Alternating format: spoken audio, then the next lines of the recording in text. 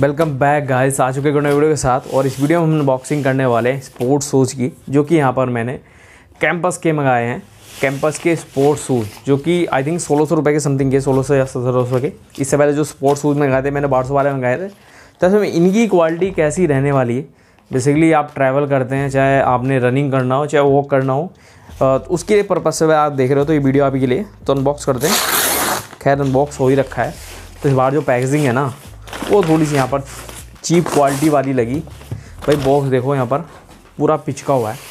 खैर, सामान के साथ में आया होगा तो पिचक गया होगा। और भाई सिंपली इस तरह से शूज़ को निकालते हैं बाहर।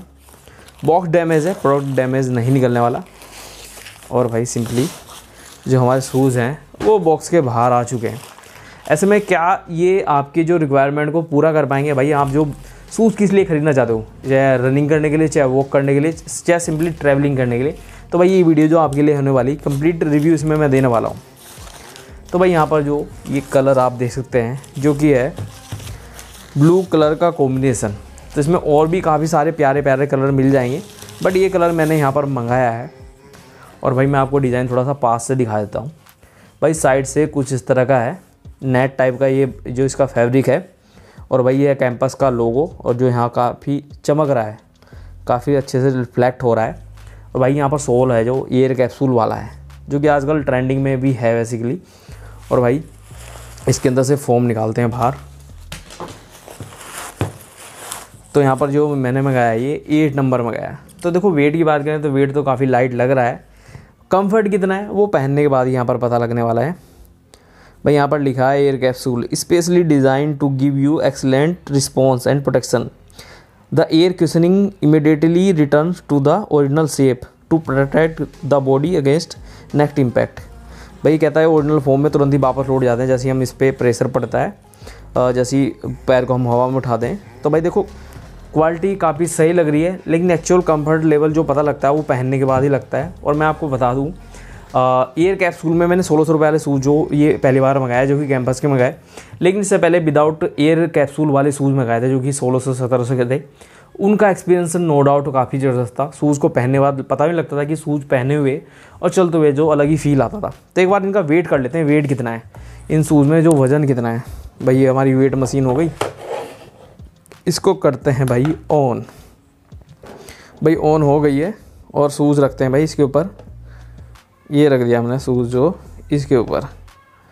भाई टोटल वेट जो दिखा रहा है यहाँ पर छः सौ साठ ग्राम दिखा रहा है। और सिंगल शूज़ का जो वेट है, तीन इकतीस ग्राम के समथिंग है। तो भाई, तीन सौ तीस ग्राम का एक शूज़ हो गया। तो वेट तो काफ़ी कम है।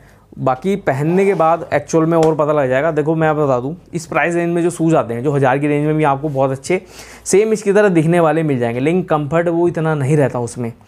मतलब कंफर्ट में कहीं ना कहीं कॉम्प्रोमाइज़ आपको करना पड़ेगा। लुक्स तो मे भी हो सकता है सेम रहे।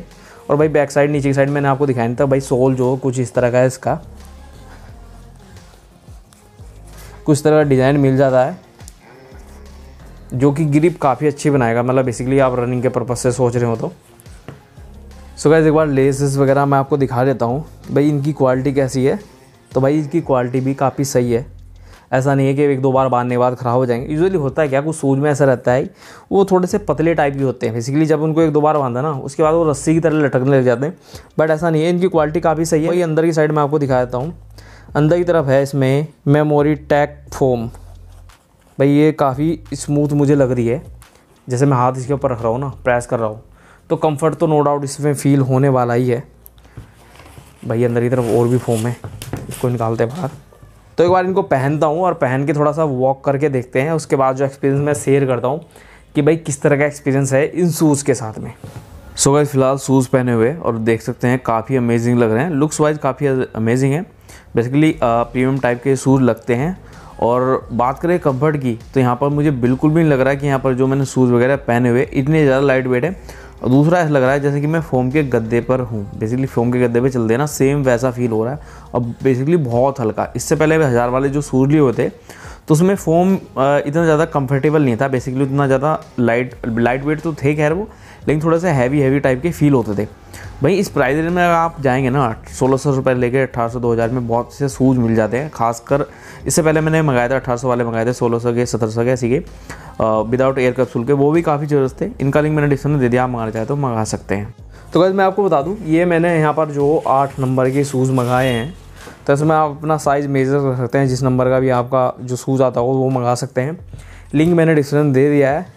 तो भाई, ये थी एक अनबॉक्सिंग की वीडियो आई होप आप लोगों को पसंद आई वीडियो पसंद आई तो वीडियो कर दें लाइक और शेयर ज़रूर कर दें दोस्तों चैनल पर है तो प्लीज़ चैनल को ना सब्सक्राइब